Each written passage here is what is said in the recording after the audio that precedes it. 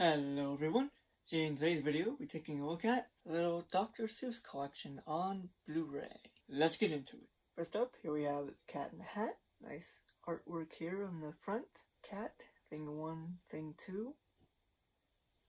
And the kids, Conrad and Sally. I don't know, I don't remember if their names are mentioned in the animated, but that's what they're called in the live action. Here we have the spine. And the back.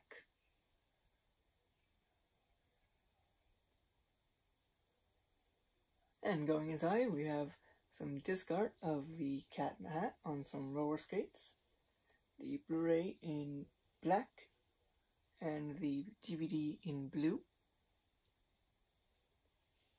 Kind of interesting how they use the same picture but different uh, color.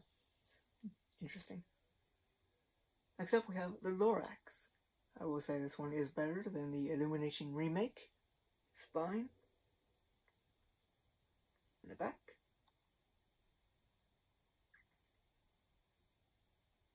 And going inside, we just have a little gray or black and white image of the tree. We have Green Eggs and Ham and other stories. We have the front, spine, and the back.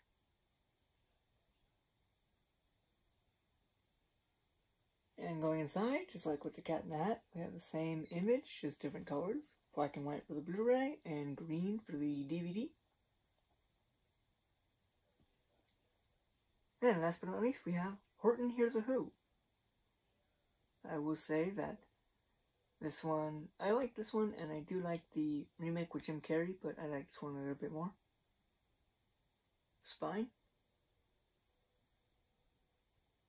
And going inside, interesting disc artwork on this one. We have a clear DVD disc and a colorful Blu-ray disc with pink background, same image from the DVD, but this time it's colored and has a bit more detail.